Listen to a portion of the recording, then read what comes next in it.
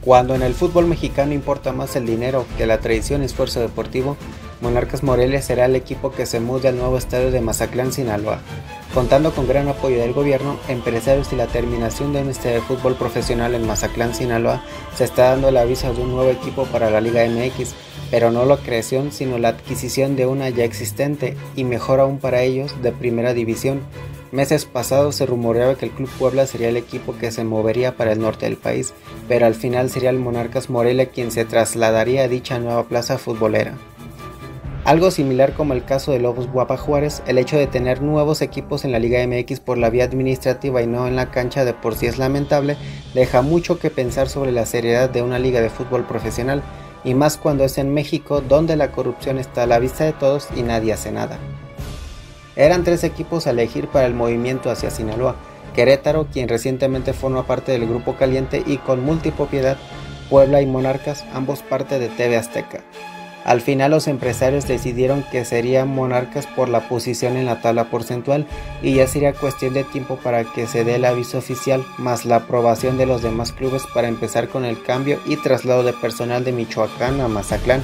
pues no es una compra de franquicia, ya que TV Azteca aún sería dueño de este equipo, pero el beneficio es que el dinero lo pondrían los empresarios y el gobierno de esa entidad, según ellos, para reactivar el turismo.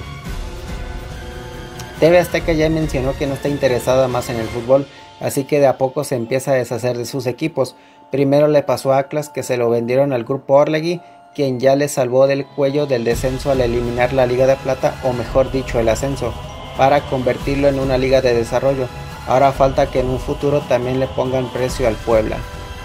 Pero esta decisión ya está empezando a disgustar a los aficionados del Monarcas y empezando a ser llamados en contra de la televisora de la Jusco, incluso pidiendo a cierto dueño de Cinepolis que compre al equipo y lo deje en Michoacán,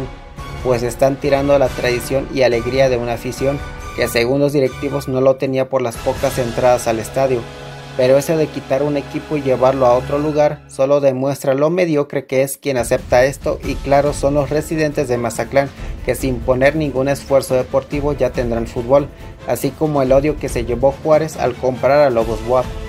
Aunque se dice que en la compra que le hicieron TV Azteca al anterior dueño como parte del contrato establecía que el nuevo dueño TV Azteca en aquel momento no puede mover la franquicia, eso se sabrá con el pasar del tiempo.